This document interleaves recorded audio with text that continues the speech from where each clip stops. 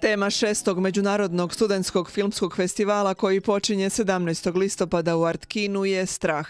Dakle, kroz tih odabranih 45 filmova nastojimo propitati e, izvore straha, njihove posljedice i načine na koji se možemo suočiti s nekim našim individualnim, ali i kolektivnim brigama kojima smo eto kroz cijeli život cijelo vrijeme opterećeni, pa kako bismo ih mogli propitati kroz film i s njima se suočiti.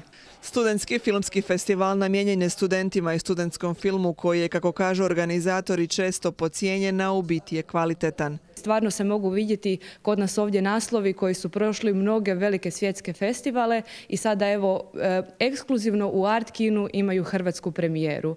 E, s druge strane u festival su uključeni i brojni mladi ljudi e, koji su zaduženi za organizaciju. Dakle, svaki segment održavanja festivala pokriva određeni broj studentskih volontera. U ovih pet godina imali smo gotovo 300 prikazanih filmova i nama je uvijek užasno drago i odličan nam je taj stif.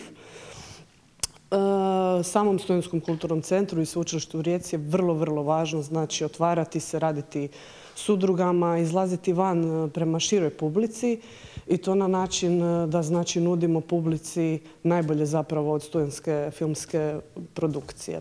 Od popratnog sadržaja izdvajamo radionicu scenaristike, tribinu na kojoj će se razgovarati o nezavisnoj kinematografiji te izložbu. 18.10. otvaramo izložbu, e, izložbu GIF radova animiranih e, svi su znači, autorski e, projekti međunarodnih autora. Izložba je rezultat radionice videomappinga i VJinga i zapravo će biti užasno vizualno zanimljiva jer cijeli prostor galerije SKC se pretvoriti u jedan totalno drugačiji prostor.